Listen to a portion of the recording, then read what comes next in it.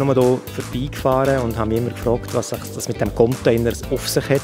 Mir ist auch aufgefallen, dass hier jemand äh, wirklich sehr viel Aufwand betrieben hat. Wir sitzen hier im Container von Energiewende leben, so heisst die Kampagne. Der Container steht jetzt den ganzen Sommer in der Gemeinde Könitz, im Liebefeldpark und nachher in Badi Weiermatt. Und der Container bildet das Herzstück einer fünfjährigen Kampagne zum Thema Energiewende und ökologische Nachhaltigkeit. Das ist eine Ausstellung, wo man eigentlich seinen eigenen Fußabdruck herausfinden äh, kann und was man noch besser machen in seinem Leben, um die ganze Ökobilanz ein bisschen aufzubessern.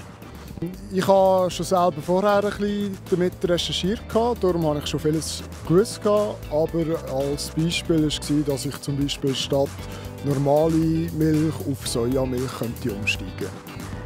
Also das ist eine fünfjährige Kampagne, wo jedes Kampagnenjahr ein anderes Fokusthema im Mittelpunkt steht. Im Jahr 2019, also dieses Jahr, ist es das Thema Mobilität. Und rund um den Container finden auch entsprechend Events statt zum Thema Mobilität.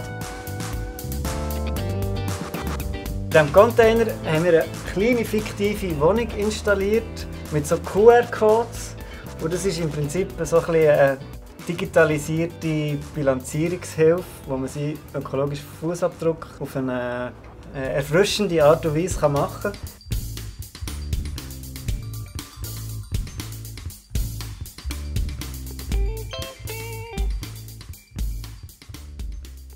Rund um den Container finden laufend verschiedene Aktivitäten und Anlässe statt. Die findet man auf der Website, auf der Agenda. Das sind äh, Themenanlässe, Diskussionsanlässe zum Thema Mobilität, aber auch andere Themen. Oder zum Beispiel das Smoothie Bike, das wir haben, wo man sich einen Smoothie kann mixen mit der eigenen Muskelkraft.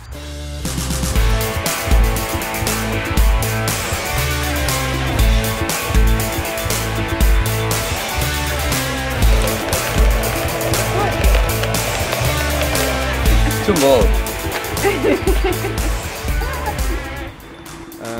solche Anlässe und Sachen gibt es immer wieder und äh, wenn wir denen auch probieren, den Leuten etwas zu bieten.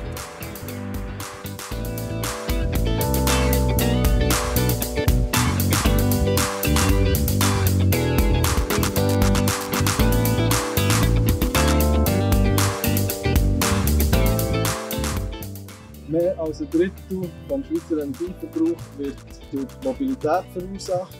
Und ja, in der heutigen Diskussion ich den Fokus eigentlich legen auf die Herausforderungen, die wir hier, hier in Königs haben, aber auch mögliche Lösungen hin zu einer nachhaltigeren Mobilität. Was sicher für uns die Herausforderung ist, ist sind unsere Arealentwicklungen, die wir im Moment haben. Dass man dort die bestehenden Kapazitäten kann nutzen kann und nicht zusätzliche sagen wir mal, Verkehrsflächen bauen muss.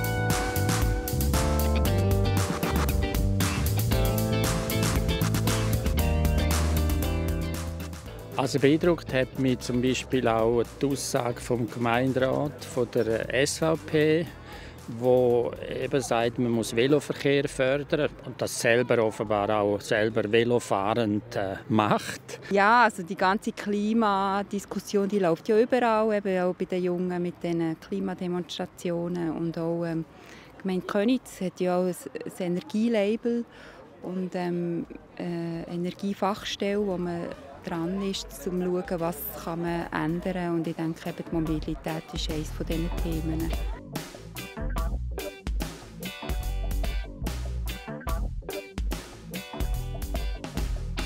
Ja, ich denke, dass die Container eine gute Sache sind, vor allem für den Informationsgehalt auch, dass man auch die Leute ein bisschen aufrütteln kann mit ihrem Denken, was ist gut, was bringt etwas. Ähm, von dem her das ist glaube ich, etwas vom Wichtigsten, dass die Leute äh, ein Wissen haben über ihre Ökobilanz und was sie können machen für die Umwelt, für den ganzen Klimawandel und so weiter. Ich habe das Gefühl, wenn wir in Zollikofen auch so reden wie hier, dann wären wir in Zollikofen schon ein bisschen weiter. Meiner Meinung nach müssen wir jetzt wirklich breiter Gesellschaft und alle zusammen eben daran ziehen, dass, dass die Energiewende so schnell wie möglich geschafft wird.